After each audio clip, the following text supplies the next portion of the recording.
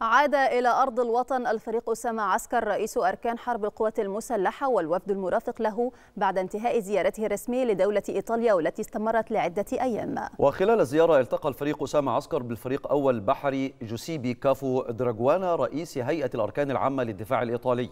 وعقد الجانبان جلسة مباحثات تناولت عددا من الموضوعات ذات الاهتمام المشترك وسبل تعزيز مجالات التعاون الثنائي بين القوات المسلحة المصرية والإيطالية وكذا التطورات الإقليمية الراهنة وانعكاسها على الأمن والاستقرار بالمنطقة. كما تفقد الفريق أسامة عسكر قيادة العمليات المشتركة للقوات المسلحة الإيطالية كما قام بزيارة ميدانية لإحدى الوحدات المقاتلة. هذا وتضمنت الزيارة لقاء عدد من مسؤولي الشركات الإيطالية العاملة في مجال الصناعات الدفاعية والمرور على بعض منتجات الشركات أثناء مراحل التصنيع.